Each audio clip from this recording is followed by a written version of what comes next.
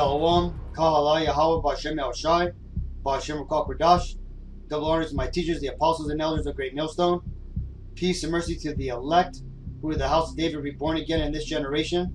And Shalom to the 130 Yasharallah, who today are known as the Negroes, Latinos, and Native Indians, who before losing their true heritage were known as and still are the true Hebrew Israelites of the Holy Bible. In today's lesson, we're going to talk about how the Lord took out Ruth Bader Ginsburg and put her to death. But before we get into that, let's go ahead and read this. This is Wisdom of Solomon 14 and 11. Therefore, even upon the idols of the Gentiles shall there be a visitation, because in the creature of God they are become an abomination, and stumbling blocks to the souls of men, and a snare to the feet of the unwise. So, for you that don't know, Ruth Bader Ginsburg, besides being an Amalekite Edomite, and Amalekites, by the way, are the true biblical names of those people today who call themselves the Jews who live in the land of Israel. They would be the false Jews written about in the Bible in Revelations 2 and 9 and 3 and 9. Well, besides that, her occupation was a Supreme Court justice, and she served for 25 years on the Supreme Court, and she was appointed by the Clinton administration. And she has been upheld by the liberal left here in Babylon the Great as one of their heroes, as an idol, or this was the vigil that was kept for this woman at the Supreme Court, right? Because you see, besides her being an Edomite, one of the uh, top warriors, I guess you could say, of these Edomites, right? Even though she wasn't a physical warrior, she was a legal warrior. She was responsible for many of the abominable laws that were passed here in Babylon the Great, which made it become such an abominable place to the Lord.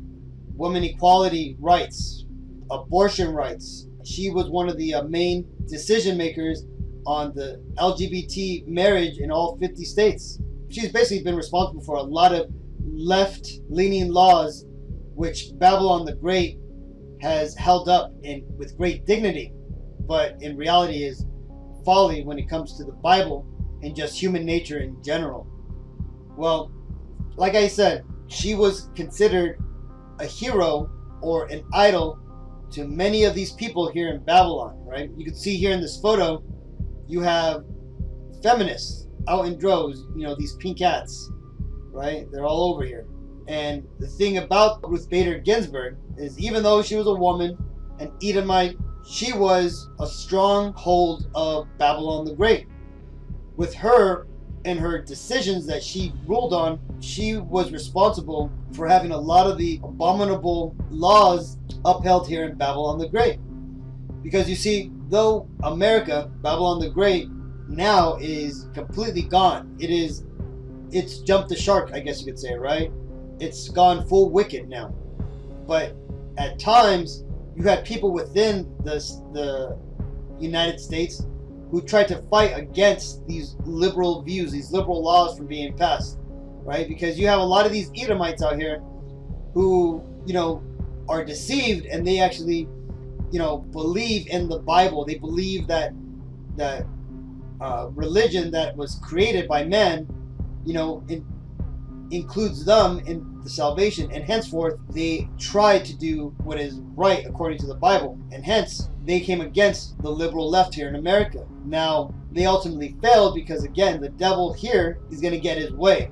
But just like the Lord said in the scripture of Wisdom of Solomon, how he would visit the idols of the Gentiles, he's doing it now. And he's doing it in a strategic strike because this lady here, she was she should have died a long time ago. She's been riddled with, with cancer throughout her body, but the Lord let her live on for a while. And why is that?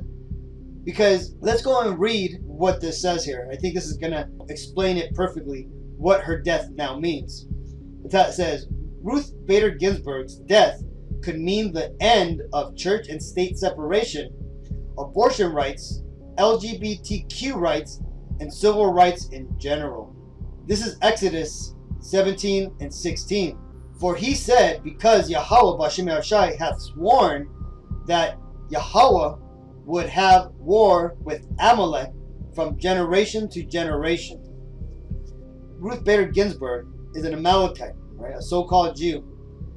And in her actions that she does naturally, they are naturally against the Lord. So the things that she had was responsible for passing, you know, for being the the descending, you know, decision on, on one one case versus another, all the things that she helped to propagate here in Babylon the Great, though they were simply ju- judgments and, and rulings, right? She never picked up a sword, never did things like that, but her actions caused a great movements of wickedness to happen here in Babylon the Great, right? And that in turn was a war against the Lord, right? And this right here fulfills that prophecy.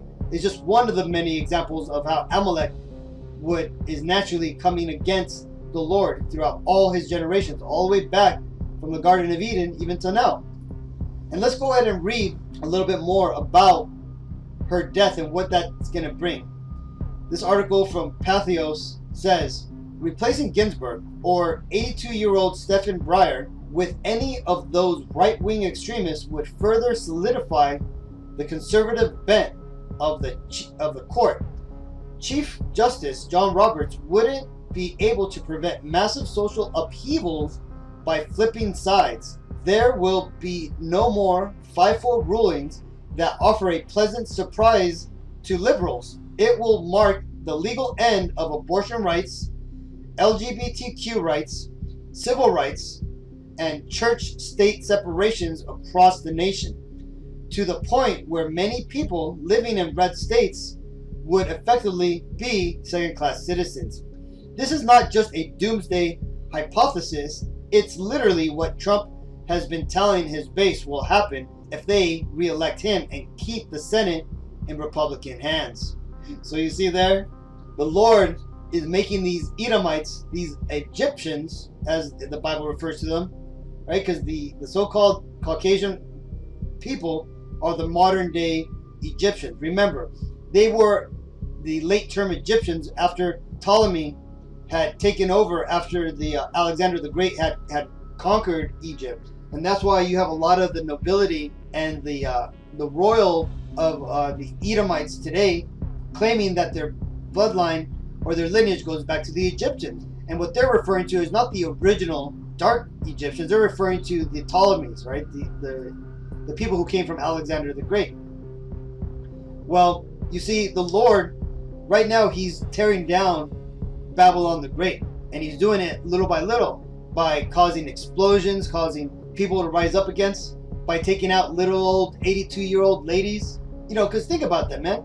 This lady was meant to, to pass away like five, I think five, ten years ago, man, when she first had cancer or something. But the Lord preserved her perfectly for this time, for her death to bring forth the most calamity at the worst time possible, when Babylon the Great is on its knees. Now, those people who are for sure to destroy Babylon by their by their hatred for the other minorities here in Babylon the Great, they're now going to be able to run the government the way they see fit. And now you're going to start seeing a lot more of these harsh draconian laws come come forth. And also you're going to see a lot of these liberal laws that went forth with the whole, you know, LGBT, the um, abortion and all those abominable laws, you're to start seeing them uh, be contested now. And what's that going to do? That's going to just cause more hatred here, man. It tells you here in Jeremiah 51 and 2. And will send unto Babylon fanners that shall fan her, and shall empty her land. For in the day of trouble they shall be against her round about. You see that? The Lord, He is turning up the fire on these Edomites' anger, man. And what's going to happen is now you're going to have an even more intense fight between the left and the right, right? Because you see, even though you have a lot of our people, the Negroes, Latinos, Native Indians, pretending that they're they're making a, a, a difference by voting, by getting involved in politics. This ain't our game, people. these devils, they simply let us join in on the game, but when it comes down to it, whose table are we sitting at? Is it our table or is it their table? It's their table. It's the Edomite table, man. That's why at the at the tops of the of even the Democrat side, who's who's the ruling who's the uh, rulers of the Democrats, right? The the top rulers, man. They're all Edomites, man. And the reason is because they simply let you in on their side so that way they could, you know, fill a quota. They could appear that they're helping the minorities. But ultimately, they're all filling an agenda, man. And this agenda ultimately is for the Edomites' success, right? But now you're going to start seeing in the next few months, possibly you know, possibly years if we get to it, you're going to see a lot of legal battles that are going to start pitting the left versus the right, and the hatred that you're seeing now between Republicans and Democrats, liberals and conservatives, is only going to grow. More fire, right? As as it said, and like it tells you here, man, it's gonna be so bad it's gonna empty her land. People are gonna start rioting more. People are gonna uh, start talking about all these laws are gonna be coming against pretty soon, and that's just gonna destroy this place, man, even faster. This is James five and one. Go to now, ye rich men, weep and howl for your miseries that shall come upon you. Your riches are corrupted, and your garments are moth eaten. Your gold and your silver is cankered and the rust of them shall be a witness against you, and shall eat your flesh as it were fire. Yea, ye have heaped treasure together for the last days. Behold, the hire of the laborers who have reaped down your fields, which is of you kept back by fraud, crieth, and the cries of them which have reaped have entered into the ears of the Lord of Sabaoth. So you see, with all this dissension, all this fighting back and forth between the left and the right, what does that happen, man? What does that cause? That has caused the destruction of the middle class, the destructions of the minorities, the people who are referred here as the laborers, right? The high, the, the hires, right? And ultimately are the Israelites, man, the Negroes, Latinos, Native Indians, man. We're basically, like that term says, man, when two elephants fight, it's the it's the flowers and the grass that get trampled, man. That's the Israelites would be the grass, man.